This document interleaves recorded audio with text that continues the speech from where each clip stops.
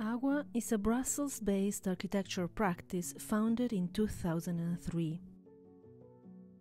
23 projects are presented through various documents that explore AGWA's process of thinking and building architecture.